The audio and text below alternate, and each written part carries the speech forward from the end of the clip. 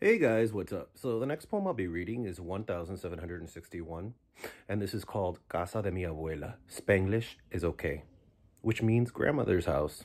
I had a lot of fun writing this. I really wanted the reader or listener to be that visitor. walking through the house. I remember growing up, I was never really in tune with my heritage, as I probably should have. I was constantly listening to American rock, and it wasn't until I got older I started to appreciate my roots. And of course, every time we went to grandma, a little piece of culture was there. And I'm not just talking about the food, but the stories about our history. Everything. Thank you, Grandma, for giving that to me. This is dedicated to you. Casa de mi abuela. Spanglish is okay.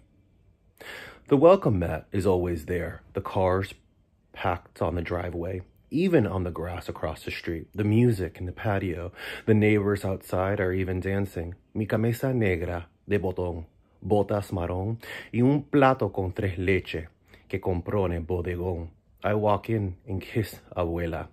Ella me dice que soy demasiado flaco. I laugh at the usual talk and walk in. Mi tíos y tías, sobrinos están bailando turning each other at the very same moment.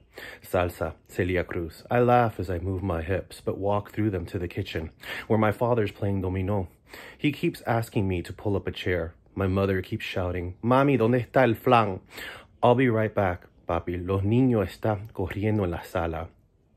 Oye, tú no saluda. Otro tío está hablando. Aún de mis sobrinos. While the news is on, the president's talking. He's waving his hands in the air.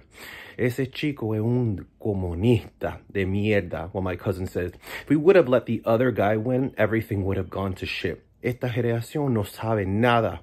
No conoces los sacrificios que tu mamá y tu papá hicieron por ti para vivir en este país. Abuela grabs the remote y dice, en esta casa nosotros no habla de los políticas.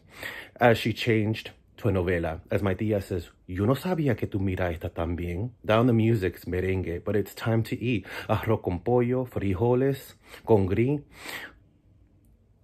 plátanos, pollo empanizado, los pancitos, ropa vieja, pastilos, pastelitos de guayaba.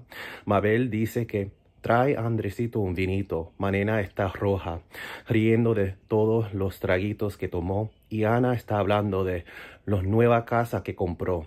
After we were done con la comida en cafecito, the children are still running around, the music still playing, everyone's laughing, limpiando la mesa.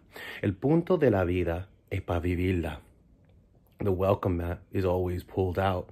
For all different cultures, just bring your appetite. La próxima semana, a la misma hora, mismo lugar, en la casa de mi abuela.